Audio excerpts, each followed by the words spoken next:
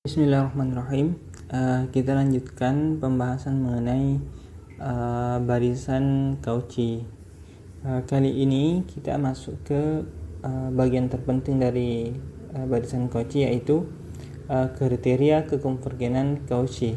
Uh, ini adalah uh, teorema yang sangat ini sangat uh, bermanfaat dan sangat baik kita gunakan dalam menentukan kekonvergenan dari suatu barisan Mengapa demikian? Karena dengan konsep ini nantinya kita tidak perlu jaminan uh, ini, kita tidak perlu jaminan dia monoton atau uh, ya seperti sebelumnya kan harus ini syarat yang kita punya kan monoton dan terbatas itu baru kita bisa timbulkan langsung konvergen. Kalau ini tidak perlu ada uh, syarat monoton, uh, ini sudah cukup cukup dia Cauchy maka dia pasti konvergen. Begitu juga sebaliknya. Ah, teoremanya seperti ini. Suatu barisan bilangan real konvergen atau dikatakan konvergen jika dan hanya jika barisan tersebut adalah Cauchy. Nah, berarti Cauchy merupakan syarat cukup sekaligus syarat perlu uh, agar suatu barisan itu dikatakan konvergen. Nah, kita lihat intinya. Uh, pertama, uh, kita sudah membuktikan dilema sebelumnya, mungkin di pembahasan sebelumnya bahwa uh, suatu barisan konvergen itu akan berakibat barisan tersebut menjadi barisan uh, Cauchy. Uh, jadi kita sudah melihat bahwa Cauchy merupakan syarat perlu uh, bagi suatu barisan yang konvergen. Nah, jadi itu sudah berarti tinggal converse-nya atau tinggal dibuktikan bahwa kalau dia barisan Cauchy atau kalau x-nya barisan Cauchy maka x-nya konvergen. Nah, berarti kita misalkan ini x atau dalam hal ini xn sebagai barisan Cauchy. Kita akan tunjukkan bahwa X ini konvergen. Nah, kemudian berdasarkan pembahasan dilema sebelumnya, kita sudah membuktikan bahwa kalau X-nya Cauchy maka X-nya terbatas ini. Nah, sehingga dengan menggunakan uh, teorema Bolzano-Weierstrass uh, karena X-nya di sini terbatas, barisan X-nya terbatas, berarti dia punya subbarisan. Dia punya subbarisan yang konvergen, katakanlah X aksen dalam hal ini bentuknya SNK uh, adalah subbarisan dari X yang di mana barisan ini konvergen ke X bintang.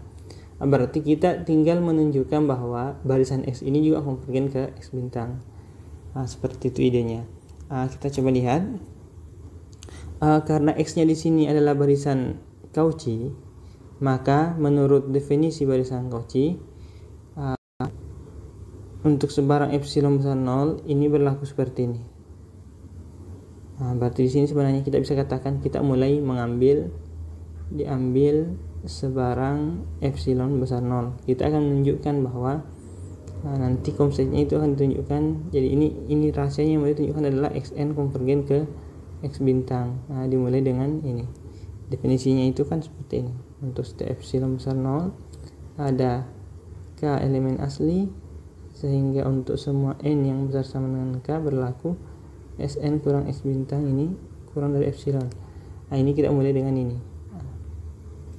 Epsilon besar 0 nah, berarti di sini kita ambil sebarang epsilon besar 0 kemudian menurut konsep bahwa uh, xn itu Cauchy berarti ada bilangan asli. Katakanlah di sini adalah h epsilon per 2 sehingga untuk semua n dan m yang lebih besar atau sama dengan H epsilon per 2 ini berlaku ini. Sn kurang Sm kurang dari epsilon per 2 ini menurut definisi dari barisan Cauchy. Sekira cukup jelas sampai sini. Nah, untuk pemilihannya kenapa dipilih epsilon per 2 itu nanti kelihatan apa gunanya. Ini sebenarnya yang penting besar 0 jadi di sini tidak masalah juga. Kalau misalnya uh, yang penting di sininya adalah yang penting di sini adalah bilangan positif.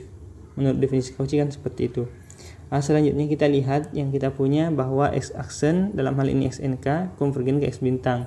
Berarti menurut definisinya pasti terdapat bilangan asli K. Nah, namun di sini bilangan asli K yang kita pilih adalah yang lebih atau sama dengan H epsilon per 2 tadi. Nah, itu tidak masalah. Saya kira itu tidak masalah. Kita punya K yang berlaku untuk epsilon per 2 juga ini, epsilon per 2.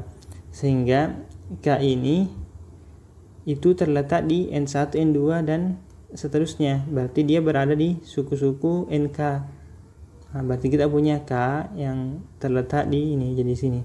K nya itu elemen N1 N2 seterusnya.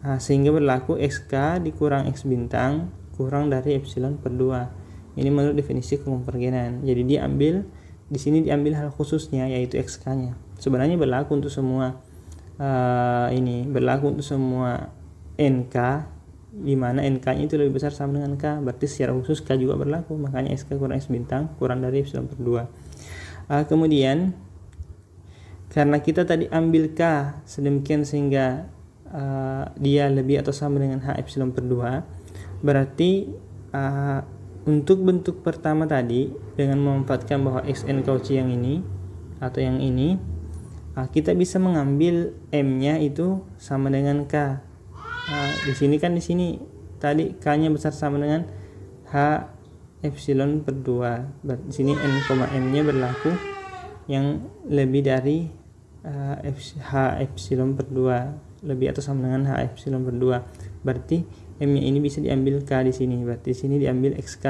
makanya berlaku ini.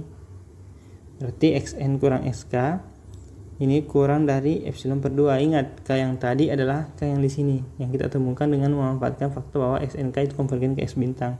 Sehingga berlaku juga ini sn kurang xk mutlaknya itu kurang dari epsilon per 2 untuk semua n yang lebih besar atau sama dengan epsilon per 2 nah, kan tadi seperti ini.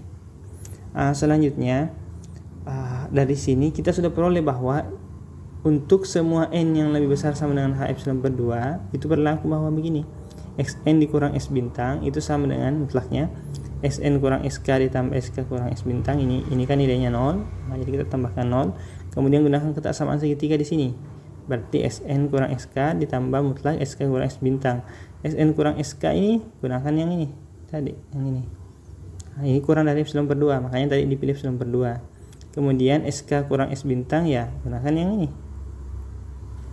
Ini juga kurang dari epsilon per 2 berarti di sini epsilon per 2 ditambah epsilon per 2 nah ini hasilnya epsilon. Makanya tadi epsilon per 2 di sini.